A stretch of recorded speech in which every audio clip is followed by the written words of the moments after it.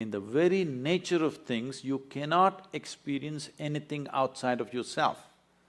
When everything, when the entire experience of life is caused from within you, at least it must happen the way you want it, isn't it? Hmm?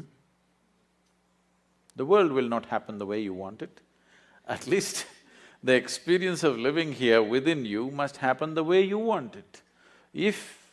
if if your experience of life happened just the way you want it, how would you keep yourself, blissful or miserable? Please, you must tell me, I'm going to bless you.